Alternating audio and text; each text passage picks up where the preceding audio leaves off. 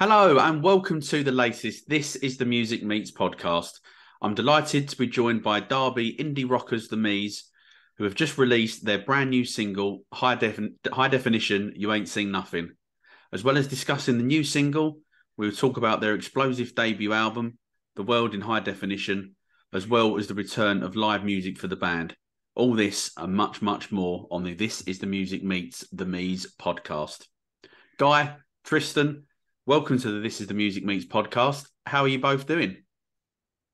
Yeah, good. Thanks.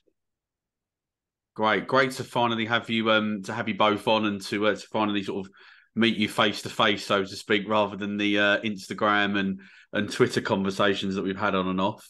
Um, so obviously, as we've said there in the intro, we've got we've got quite a lot to to sort of get through today. But kind of like before we do, I want to sort of go back really to the to the very very beginning of the band. So kind of like how did it start and, and where did you get the, the, the band name from?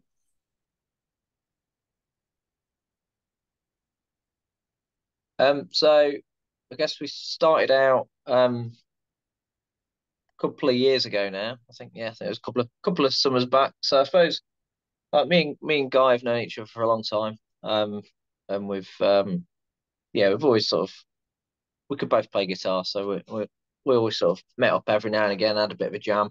Yeah. Um, yeah, obviously played a few covers and stuff. Um, I think did did a couple of charity gigs years and years ago. Um, mm-hmm. just because you know our mates had sort of talked us into it, kind of thing.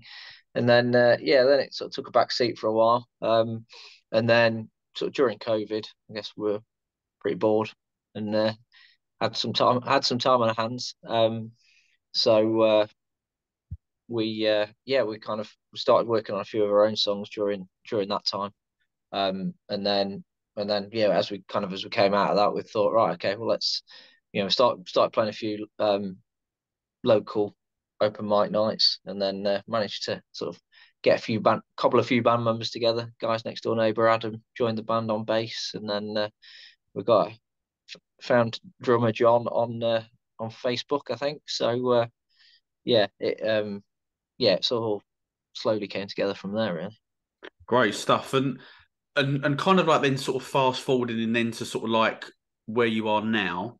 Um, obviously, it's well known how difficult like the music industry is to sort of like break into and, and to sort of progress in. So, when you kind of like look at like look back on on 2022, really, I guess in in particular, and like I guess the start of this year as well, sort of kind of like how do you feel that you've done in that in that period of time?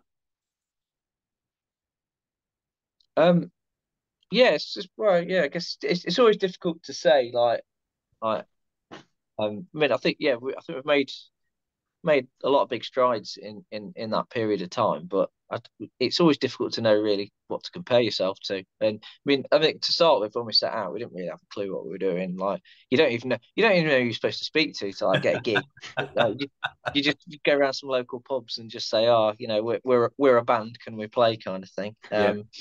But I mean, the internet definitely makes the world a much smaller place, and uh, yeah, I I mean, I guess go on accounts like yours on uh, on on like Twitter and Instagram, uh, things like that. Like you just you, you know you start to meet people um, in who are who are kind of into the same same sorts of things. So yeah, I guess as as time's gone on, we've sort of met more people virtually, and then obviously subsequently in real life. And uh, yeah, like as time's gone on, like yeah, more and more opportunities have opened themselves up to us. And uh, yeah, we've like yeah we've done some like some gigs and things like that that have that feel pretty mad to us really that we've been like okay well yeah we're you know we we've found ourselves last year on the stage in in the arena in Derby. Yeah. Um, supporting a uh, a like an, an Oasis tribute act but there's you know there's a good few hundred people there and it's like oh well this is this all right isn't it? So yeah you, you get yeah you have moments like that and you just think oh wow we've yeah we've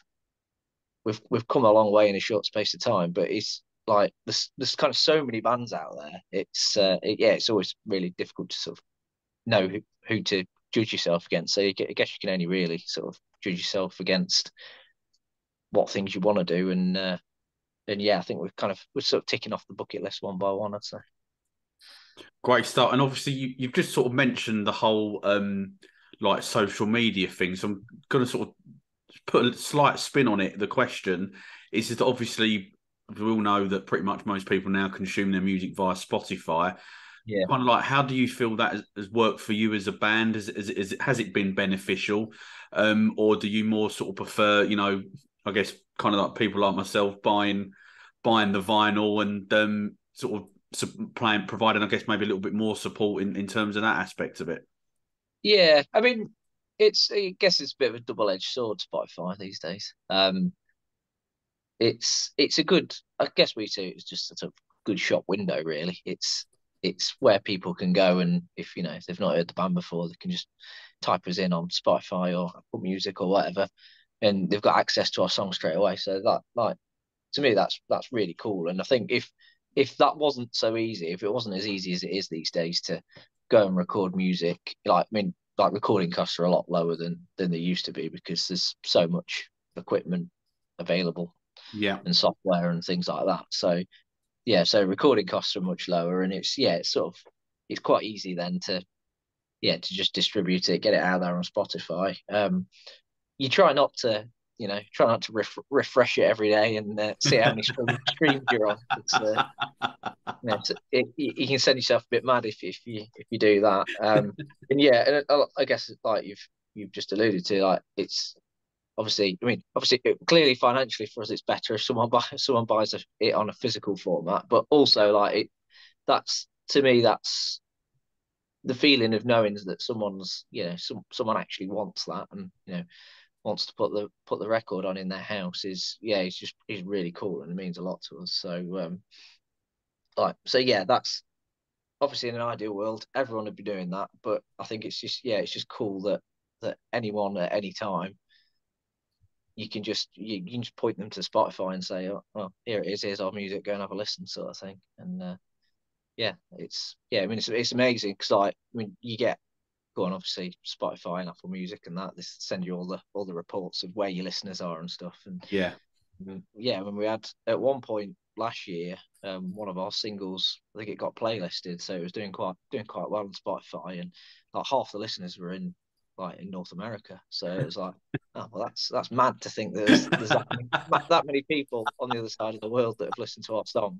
Yeah, we'll sure. probably never never speak to or or know of. Um, I mean, on, the the US tour might be a few years off yet. you got you got to dream big. That's what I always say. And um, hey, why not for something for something like that as well? So, kind of like then, um, we'll talk about the new single, um, obviously called High Definition. You ain't seen nothing. Um, obviously, it came out um, on on so last Friday. Um, so kind of like then, what? Because obviously, effectively, the the high definition part, and obviously the, the music predominantly is obviously a sample that was obviously on um, obviously on the album. So kind of like why why did you decide to sort of you know sort of how can I put it? Like I guess like re-record it in a in a kind of like roundabout way with you know like a rap on it, and obviously you got like the the hip hop beats. Where was what was the the idea behind that? So I, guess that's that song has been kind of been knocking around for quite a while, and I always liked it as the album title. Um, but it was like the original song was much different, and it was you know it was more of a sort of kind of an acoustic kind of number and a bit bit slower in tempo. Um, and then kind of came around to recording the album. I still wasn't quite satisfied with with that tune, but sort of had an idea that well, and, and to be honest, we had so many songs that like we, we had the idea we were going to put it on vinyl. So there's only so many songs you can fit on on so two two sides of vinyl. So I thought, well, well, well, it's the words high definition have to be in the album somewhere. Um, yeah. If, if that's what it's going to be called, so so okay, I came up with the idea of just well, let's just let's just record something in the studio, um, and we probably recorded a couple of minutes worth, and then we said to Tom, who who is uh, who works at UTC Studios in Stoke, um, who's who we recorded the album with. Uh, best give a shout out to him because he's he's done an incredible job on it. Um, so yeah. said said yeah said to him at the time like right we've probably only got like 45 50 seconds worth so just just just put put together that bit and he, he he put some cool light effects on it and stuff, and like some back added some backing vocals, and we're like, yeah, yeah, we really like that that track. And then sort of the more we listened to it, like, right, well, we need to do sort of do a full length version of that. So then we kind of had the idea that okay, we'll go back in the studio at some point and start playing around with it. And then it wasn't really until we were sat there and we thought, right, well, we should do make it rather than just doing a long version of the same song, let's make it sound a bit different. Um, so we were just messing around with like different like drum samples and things like that. Mm-hmm. And then Tom was just sort of flicking through the flicking through various options, and then we were both like, "Oh yeah, we like we like that one."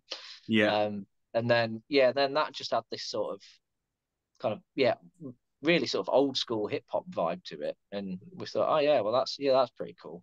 Um, and then there's actually a bit in the in the song where I think I just say I'm seeing I'm seeing the world over and over again, which is kind of my version of rapping. Not really, not really, not really properly rapping, but but we just sort of said, oh well, you know, it'd be good if we it'd be cool if we could find someone like on the internet or something that could actually rap on it. And then Tom just said casually says, well, I've got this lad coming in in a few days who who I reckon might be up for it, so I'll ask him. Um, and then yeah, it sort of went from there.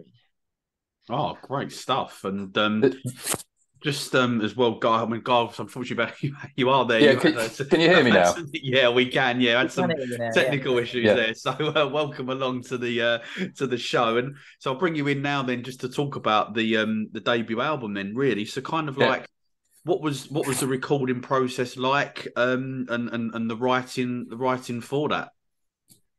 So it, it kind of evolved um over the course. So we've been together as a band just just over a year, uh, probably a year and a half now.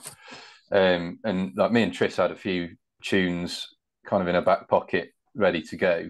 Um, that we've some of them we've had them well over 10, 10 years, maybe, maybe nearly fifteen years, which is probably showing our age a little bit. But we, we, we, always wanted to get them recorded properly, get them on an album.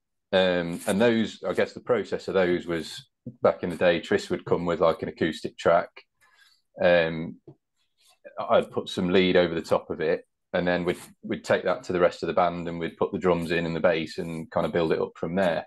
And that's how it kind of started with with our first EP that we did um, before the album. Um, but then as as we sort of grew and um, got got together as a as a band, there's there's other tracks that we started to build together as a band, and some of them in particular, like Black and White Shades of Blue, was was just a jam that we did in in the um, in the rehearsal studio that started off as a bit of an acoustic thing, and then we all just chipped in and we, we were jamming it for probably about fifteen minutes. like, don't, don't know if anyone else is is going to like this, but it's really fun to play. Yeah. So took that into the studio, um, and and you know, a couple of the other tracks would would kind of play along to a click track, try and get the the beat sort of spot on. Mm-hmm. But that one just wasn't quite working as we'd expected it to. So then Tom just goes, well, let's forget the click track. You guys just jam it and we'll see what it sounds like. So we did that. And first take, we absolutely nailed it. And that was it. So that, that was a totally different approach to, to kind of some of the other tracks, some of the earlier tracks. So yeah, it, it kind of evolved, as I say. Um, and then yeah, there was a, there was a few where we, we didn't really know where to take it, and then in in the in the actual recording studio, we, we kind of did it on on the fly, and that was kind of a cool way to do it as well. So, diff, different approach for for different tracks, really. Yeah, there was a few there was a few where I was sort of stood in the uh, vocal booth and we didn't really know how the song went and just like the rest of the band just like, sort of shouting through on the microphone say try doing it this way try doing it that way had, had, some had some words to sing but they sort of taught, taught me through how, how it should sound and then yeah do a few takes and cobble it together on a, on a few of them Brilliant, and and and then so kind of like there, you, you mentioned the EP and, and, the album. Was that kind of like then the first time that, that you like personally had ever been in this like recording studio before, or you know you had previous experience what was what was kind of like that like for you guys? Yeah it was it was the first first proper recording process we'd done. Like me and tris had done um like little open mic stuff on facebook like during lockdown. So we, yeah. we used to run an open mic night in in derby. So then covid hit and um we, we, we took it to to sort of facebook live and got got quite a few people involved. So that was kind of an intro to the, the tech side of how how do you set up live recording? But we'd never never been in a proper studio before, um, so yeah, it was really cool to do that properly. Yeah, sure. And and when as well, when you look back, um, like over the recording and and and, and kind of like the year, like 2022 in, in general, what kind of like for you are the sort of like, or for both of you really, what kind of like are the highlights, um, you know, that, that really like in particular stand out? Well, for me, um, like Tris mentioned the arena. That was that was absolutely mad to to get onto that. Um, like some some of the stuff that we've done in the first year was just just bonkers. Um, like we, we just we just wanted to like start a band, get some tunes out there, record an album if we could. Um, so the fact that we did, you know, we, we got the album recorded, got it got it pressed to vinyl, um, people actually buying the thing, uh, and then ended up launching it all um, at, at, the arena was was absolutely crazy, really. Yeah, and and how about you, uh, Tris? Um, yeah, I think probably well probably the best gig we've done. So probably one of the best moments was actually right the right probably about a year ago, right back at the start of last year. Um, we played a, a free gig in um, the Rough Trade in Nottingham. Um, band called the Muders had, had invited us along, and like yeah, we just sort of turned up at that, not really knowing what to expect, and uh, it was absolutely packed. The place was so like yeah, that was that was kind of like the probably the most fun we've had. Like yeah, uh, along the along the way. Um, because yeah, we just yeah basically played to a packed venue, and I guess this was just before we started recording like the songs for the album. So yeah, it sort of yeah gave us some real confidence on some of the some of the new tunes that we're that we're sort of looking to put on there.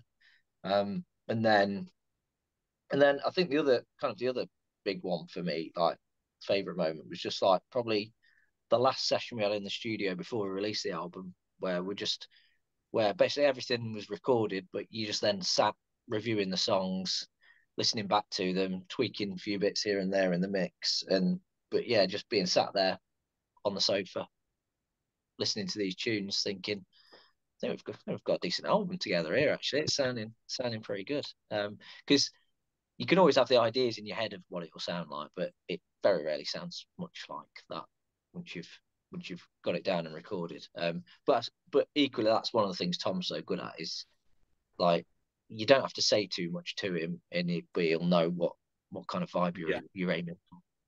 Sure. Oh, great time. The album, by the way, is better than decent for anyone listening that hasn't got it yet. It's, it's fantastic. So, and obviously, you guys as well, just sort of you mentioned there that the Derby Arena gig, obviously, live music is is obviously very imminent for you guys um, in a couple of months' time or so. So you've got um, Sporting Marples at a network on the 23rd of March in Sheffield. Um, March of the Mods um, also in Sheffield. Uh, I think it's the following week, the 31st of March, um, with all proceeds going to Teenage Teenage Cancer Trust, um, and as well Brit Cop, Brit Pop icons even Hurricane Number One on May the sixth in Hull. So, kind of like, how excited are you um, as a band to be getting back, you know, back out there on the live scene again? Yeah, it's it's been uh, been a while. I can't remember what the last gig was that we we did. Tris, can you remember? It's it's been a while. It was uh, yeah, we played um, Victoria in Birmingham, didn't we? I think that was it. Yeah, yeah. So it's it's been a while. So yeah, I'm personally looking forward to getting back out there and uh, yeah, supporting some some really really good bands, and and that's that's probably one of the other highlights that, um, for me is you know, just through doing this and, and playing live, the, the amount of quality bands that you get to meet and see. Um, you know, probably shout out a few of them that we've we've played with. Um, but the, the, the fact that you know you get to see them, and otherwise you probably wouldn't wouldn't get the chance, or you it's you rely on word of mouth a lot of the time, aren't you? So, you know, people like Death of the High Street, favourites of ours, um, sort of Derbyshire band, um, really, really good. Try try and get down and see them when, whenever they're doing something live. Obviously, Marseille, who, who you know, yeah. Um, yeah, we've seen them come from. They, they used to do the open mic nights that we ran in town, right, and now, right, now, okay. now, they're doing real, you know, proper shows, and yeah. they've just announced a tour, aren't they? So, yeah, um, yeah, Marseille, um, and then yeah, there's, there's there's plenty of others. Supported a band called the Illicits. Um, no, last year we've, we've supported Liam Gallagher before. Mm-hmm. So yeah, just just the opportunity to see some of these some of these bands, and then yeah, some of the others. Marples look look like they're really good. good lineup for March of the Mods as well, and then Hurricane Number One. Um, we're all big fans of them. Um, anyway, so yeah, get getting the opportunity to go and support them and see them live would be, be amazing. Yeah, sure. Certainly sounds like it. And then, kind of like, obviously, as, you know, you just sort of mentioned um, a couple of bands there that, that we champion ourselves here. This is the music. We're obviously, you know, want to help promote as many bands as we can, obviously, like yourselves. So, kind of like then over the past sort of 12 months or so, who, what bands have been in particular catching your eye that are, you know, at the grassroots, grassroots level type of thing? Well, so I think, yeah, I was gonna say, I think guys already mentioned uh, Death of the High Street. They'd be, they'd always be right near the top of my list, and certainly for seeing live, I think they're probably you know, one of up up there with very best live bands I've seen. Um, so yeah, they're great. Um, there's another band actually from from Derby who I think deserve a shout out. Uh, the Telephones. Um, so they're probably a bit more mature in age, a bit like ourselves, rather than some of, these, some of these, some of these young upstarts. Um, but yeah, they released an album um, last year. Um, I think that was sort of quite early last year. Um, and yeah, like yeah, I bought that on um, bought that on vinyl because it was yeah, re- you know, really good album, really really good album. Um, sort of gave kind of reminded me a bit of some of the Corals albums, kind of a bit of a right, okay, of, yeah, bit, bit, bit, of psychedelic sort of vibe, but but just really really good songs. Um, mm. so yeah, that yeah, they certainly deserve a shout out, I'd say. And, and how about uh, you, Oh, yeah, I was going to say, I think, um, yeah, I guess say the, the other the other band I was just going to mention was um because we actually went to see him the other night, didn't we, guy? Uh, the Public Eye. Yes. Um, yeah. Um, yeah. So yeah, again, they're they're lads we sort of know from from the open mic days of a, a couple of years ago, and uh, yeah, they've they've they've made um they've made huge strides as well in in the last year or so. Um, and yeah, they like yeah, it was the first first time we actually got to got out to see them at, a proper gig uh, the other night, and uh, yeah, they sounded super tight. Yeah, yeah, yeah. I, am a big fan of the public. I'm sorry, Guy. How about you? Yeah, so there's a few I've mentioned there. Um, probably the other one that I'd, I'd mention is um, a band called the Matchbox, who um, yeah. was a gig we headlined in Birmingham. They were one of the support bands, and they were they were clearly the best band on the night, weren't they? Um, they, they, were just just awesome, um, really tight as a band, great sound. Um, they've got a tune called Closure, um, which the week leading up to the gig, I just had that on repeat because it's it's just so so good. Um, so yeah, they're, they're, really good lads as well. Um, so yeah, they they stuck around for the whole set. Um, I think they're from Manchester way. I think yeah, I think they're yeah. the sort of I think they're based at Manchester because of university, but I think I think the I know the lead singer is originally from Hull. Yeah, that's right. Yeah, so definitely check them out if you haven't already. Yeah, some great some great recommendations in there, and I think there's a there's a couple in there as well for me that I need to uh, to kind of like check out um, at some point as in the, in the very near future. So we're gonna um, kind of like drop some some quick fire questions at you now. Um, so first of all, um, what three musicians would you invite on a night out? Other than the band, uh, you can go for three bands if you want. go on, Tris, you go. Well, you'd have to invite Liam Gallagher, wouldn't you? I think just for I think. You'd have to, yeah. And then, to be honest, if you're inviting Liam, then just just for a bit, add a bit of tension, you might as well get Noel out, and you just to, just to, just to see, just to, just to see how that goes.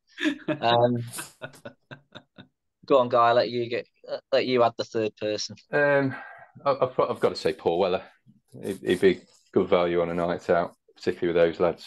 Yeah, he'd show you. He'd show you up with his dress dress sense, though, wouldn't he? You'd, you'd, whatever you wore, you'd feel like a bit of a scruff bag stood next to Weller. Definitely. So playing live or being in the studio? Oh, it's a tough one. So for me, it's probably studio. I think like like like not, I guess nothing can quite recreate the live buzz, but also when you're going to play live, a lot of it a lot of the day and a lot of the time is a bit of a pain in the arse.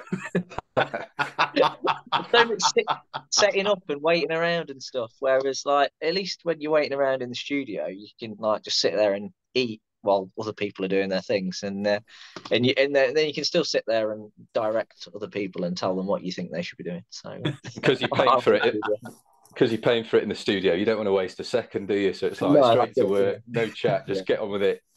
Yeah. Yeah, yeah, I think I agree. Okay, brilliant. And what's uh, what's your favourite film? Oh, should probably well, think of a cool one, but I don't know. Yeah, I think my, to Forrest Gump's probably always been my favourite film. Yeah, that's a good and it's one. got, I, got I, really, really, cool soundtrack as well. For yeah, mm, yeah. Le- less cool than that. Um, I actually really like the the last Top Gun movie that came out last year. I was expecting it to be rubbish, but it was really good. there you go. And as we are, we're recording this at lunchtime, so this is quite apt, I think. What is your um favourite sandwich filling? Oof. And is it, and more importantly, is it on the menu today? uh, for me, I'm a big fan of cheese and beetroot. Actually, crusty cob, cob as we call it around here, which is yeah. the right way to say it. Um, yeah, cheese and beetroot cob. Yeah, so I've I've got leftover roast chicken for my lunch in my sandwiches. So yeah, I think I'd I'll probably I'll probably put that up there. Nice roast chicken sandwich. There we go. So we're not just a music podcast; we're also a, a sandwich filling uh, conversation as well. There you go.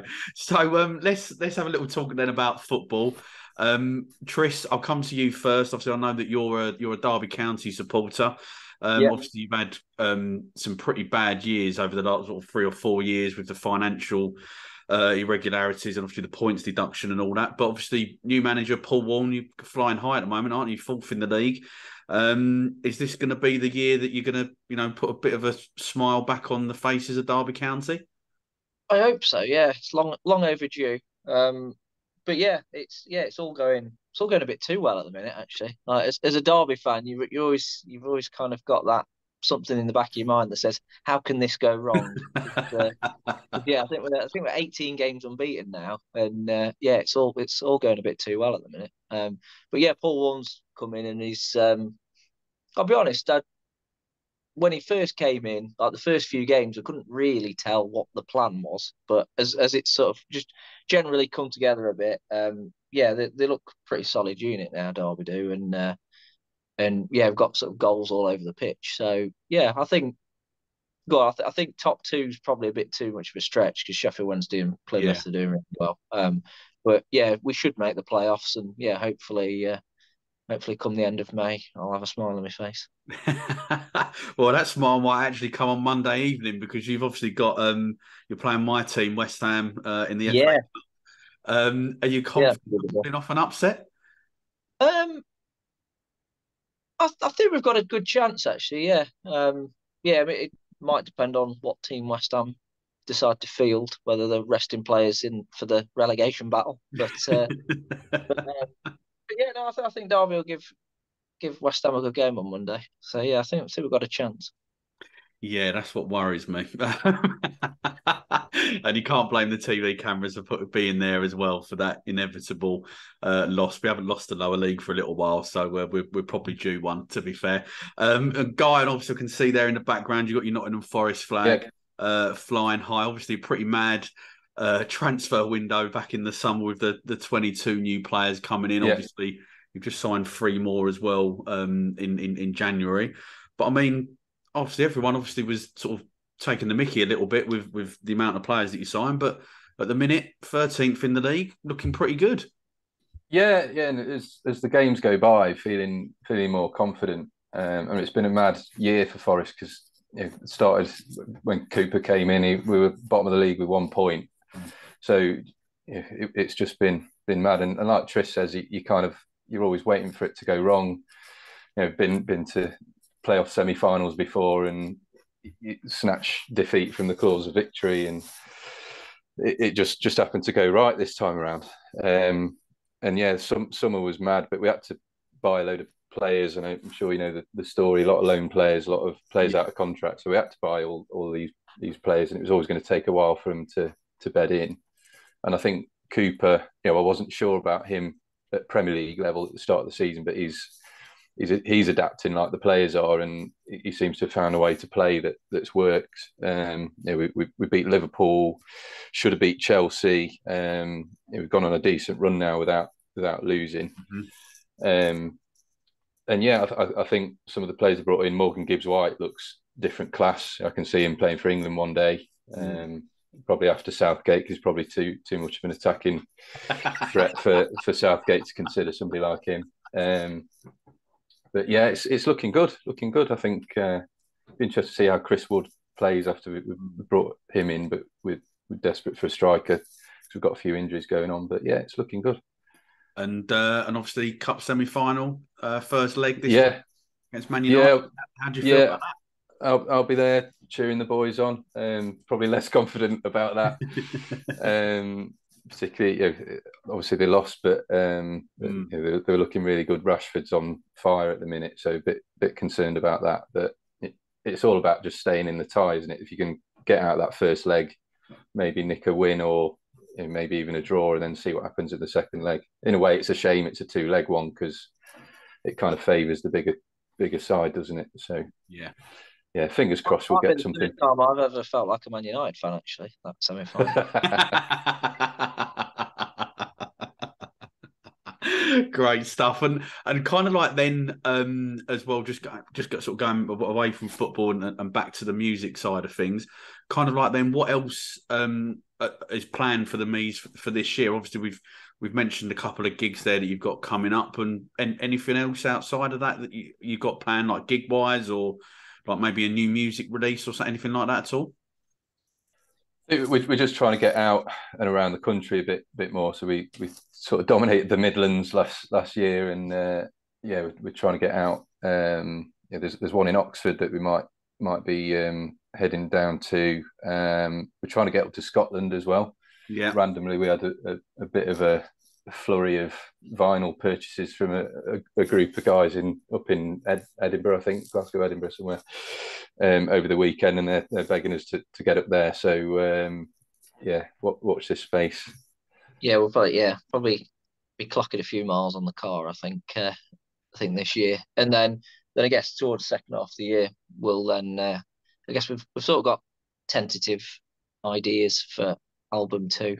Um, it's got a title got a couple of songs. Um, so yeah, so hopefully towards the towards the end of the year we can uh, properly get teeth into that. Great stuff. Well, it sounds like it's going to be um, a very very exciting 2023 for you guys, um, and I'm you know really really excited to, to see um, what does happen. Um, unfortunately, that is the end of This Is the Music Meets the Mease podcast. It's been great having you both on. Um, as I said at the beginning, finally nice to actually meet you sort of face to face, so to speak, rather than uh, in you know social media messaging and all of that sort of stuff. Um, but before you do go, can you let all the listeners know where they can find you on social media? Yeah, we're on uh, we're on Instagram, Facebook, Twitter, and now TikTok as well. Mm-hmm. Um, we are at the Mease Band on on all of those platforms. So come and have a look at us. We're also on all the streaming platforms: Spotify, Apple Music, Amazon. Um, and then come and check out our online store as well. We've um, we've got the the vinyl CD, we've got t-shirts, uh, tote bags as well. We've got all sorts going on. So uh, definitely recommend the vinyl. Come and have a look. well, I, I, second that there with the uh, with the vinyl, um, and we'll we'll include the uh, the links there that you've just mentioned, and obviously the uh, the Bandcamp page as well for the for the album. Um, yeah, to say it's a fantastic album, and we'll say we'll put that in the episode bio. Um, all that that leaves me to say is to thank everyone for listening to the latest. This is the Music Meets podcast. Um, if you could please subscribe so that you never miss out on any brand new episodes. And if you are loving the podcast, show us some love uh, by giving us a five star rating and a written review, as it really does help the artists uh, that we interview to be discovered. Thanks for listening. Guy, Tristan, thanks again for coming on, and uh, we'll see everyone else very, very soon. Cheers, Mark. Nice one. Cheers, Mark.